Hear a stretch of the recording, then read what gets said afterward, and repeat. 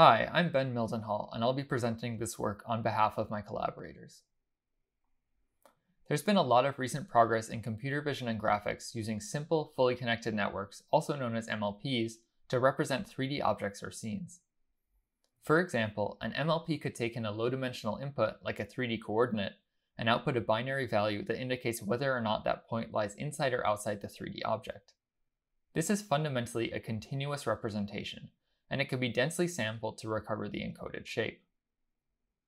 In contrast to typical uses of deep networks to represent high-dimensional functions, here we are trying to get the MLP to represent a complicated function but on a low-dimensional domain. One simpler example of this is using an MLP to represent an image, taking in the 2D pixel coordinate as input and outputting an RGB color. Here's what happens over the course of training an MLP to represent this signal. As you can see, the network struggles to learn high-frequency details like the fur on this fox. We present a simple technique to fix this problem. Instead of just inputting the low-dimensional coordinates directly into the network, we first pass them through a Fourier feature mapping, which looks like a set of randomly scaled and rotated sinusoids. This allows us to control the frequencies that these MLPs can represent in practice. With this technique, the MLP can quickly learn the high frequency details in this image. We can understand why this Fourier feature mapping helps us train coordinate-based MLPs by looking at the recently proposed connection between training deep networks and kernel regression methods. Before diving in, we'll briefly review how kernel regression works. Kernel regression is a method for nonparametric function estimation that takes in a set of input-output data points and estimates a continuous function fitted to those values.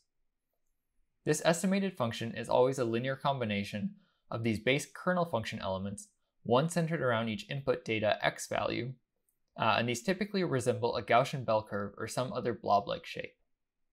Adding them all up together produces the continuous estimated function. And these weight values W are set such that your function passes as closely as possible to all the input points in a least squares sense. As you might guess, it's really critical to pick the right kernel function. If your kernel is too wide, then you won't be able to represent high frequencies, and if it's too skinny, you'll end up overfitting to the input data. Here's a simple visualization of that effect when fitting a 1D function to these yellow data points shown on the right. The blue line shows the kernel regression estimate given this input data, using the kernel shown on the left. Uh, here we've added a red marker so you can easily compare the width of the kernel with the x-axis distance between yellow training points. Right now the kernel is too wide, so the function estimate is too smooth. If we vary the width of the kernel function, then we can go between this smooth low frequency underfit function and an overfit function that doesn't interpolate well between the input data points. This gives you an idea of how important the kernel shape is. Going back to the connection with neural networks, uh, there's been this explosion of ML theory work recently that's produced incredible results that precisely characterize the behavior of networks during training under certain limit conditions. And the basic takeaway is that training a sufficiently wide network performs kernel regression with a known kernel. When we use Fourier features to modify the input coordinates, it actually changes the width of that kernel to make it much better suited for the tasks that we want to do. And the exact form of this Fourier feature mapping is simple. You just sample a random matrix B that is very tall, uh, basically a long list of random projections of the input coordinates. Then you pass those projections through sine and cosine functions. All you have to do is sample the B matrix once and then fix it during training. It's just a deterministic mapping, not another network layer. And this general mapping is exactly the same uh, as the random Fourier features proposed by Rahimi and Recht in their seminal paper. Just to give some intuition, I want to show a basic example in 2D. Here we're going to sample each row of the random B matrix from a Gaussian distribution. We'll start by plotting the input coordinates for a regular grid sampling of 2D points, so increasing the value of x1 from 0 to 1 results in a ramp from left to right, and similarly increasing the value of x2 results in a ramp from top to bottom. After passing these coordinates through the Fourier feature mapping, we get these sine waves at different frequencies that are tilted due to the linear combination of the x1 and x2 dimensions.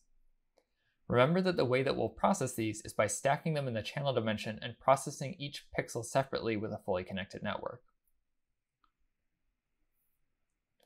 Now we can justify theoretically why this allows us to learn higher frequency functions using neural tangent kernel theory. For a standard fully connected MLP, the corresponding neural tangent kernel can be expressed as a scalar function of the inner product of any two input points. And it turns out that a Fourier feature mapping has a really nice complementary property, where the dot product of two feature vectors is actually a stationary function of the two original coordinate points x and y, meaning that it's shift invariant. If we move x and y by the same amount, their feature space dot product actually stays the same since it only depends on their difference. If we combine these two facts, we can see that the Fourier feature mapping also makes the NTK into stationary kernel, and it gives us a direct way to manipulate the width of that kernel just by changing the scale of B. This is really the big punchline here. Changing this single scalar has a huge effect on how well the network is able to learn different frequency components of the training signal.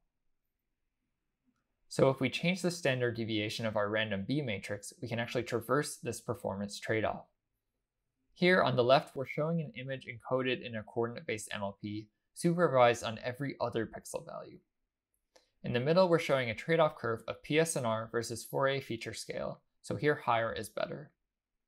And on the right, we have a central slice of the 2D kernel function to emphasize that smaller scales give you wide kernels and large scales give you skinny kernels. With too small of a scale factor, the network struggles to learn high frequencies and we get an oversmoothed output. And with too high of a scale parameter, the network overfits and exhibits bad high frequency aliasing. We find that for this task and many others, a simple linear search can suffice to find the best scale value.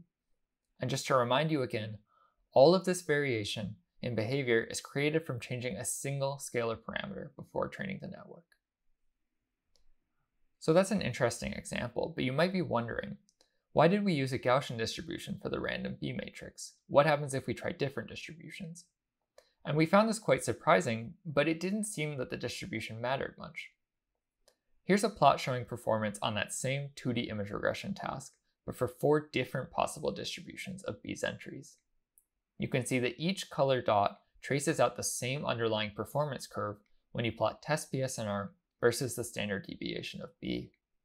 And this really reinforces the take-home message that all you need to do in practice is pick the right scale for B and you'll get close to optimal performance with any distribution you choose.